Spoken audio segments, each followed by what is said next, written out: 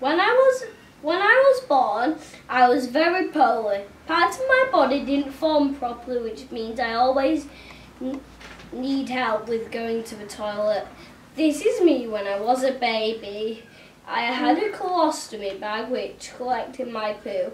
Now I have an ACE button. I have a bowel washout on the toilet every day for about an hour and 15 minutes. Slide two.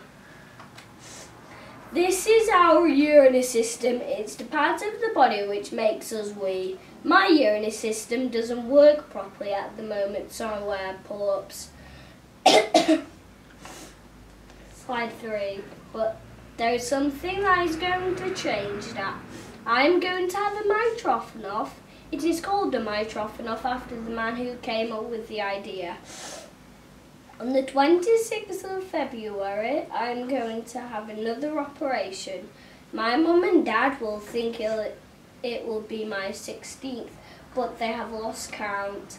I will be asleep for around 10 hours and I'll have a part of my bowel attached to my bladder to make it bigger. That is called a bladder augmentation.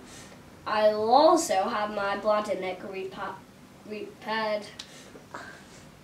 This is the bit which stops the wee from falling out when it's not supposed to. I'll have a Mitrofanoff made. There is a part of your body called an appendix which isn't used for anything. My doctor will make a hole in my tummy and use the appendix as a tunnel into my bladder. He's also going to make a trapdoor so nothing can go into the hole by mistake. Slide four. I won't wee like you do, but I'll able to wear pants. I'll put the catheter into a hole and it will go into my bladder. I'll stand next to a toilet and my wee will come out. When I have finished, I'll pull the catheter out. Slide 5.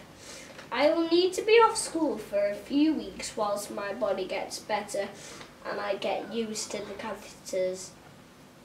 When I come back, I won't be able to see it. You won't be able to see it because it will be under my clothes but I want you to know about it because you are my friends. Slide 6. My mum and dad were asked to write an article for a charity which helps hospitals and people with a Mitrofanoff. They do lots of amazing things for free. All the people who work for the charity are volunteers and either have a Mitrofanoff or know someone who has one. Slide 7. I would like to do something, so thank you to this charity, and I would like your help.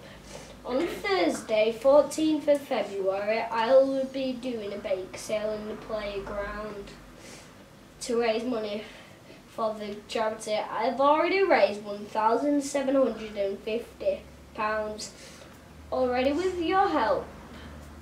I'm hoping to reach £2,000. Thank you for listening. Are there any questions? Anybody got any questions for Reuben?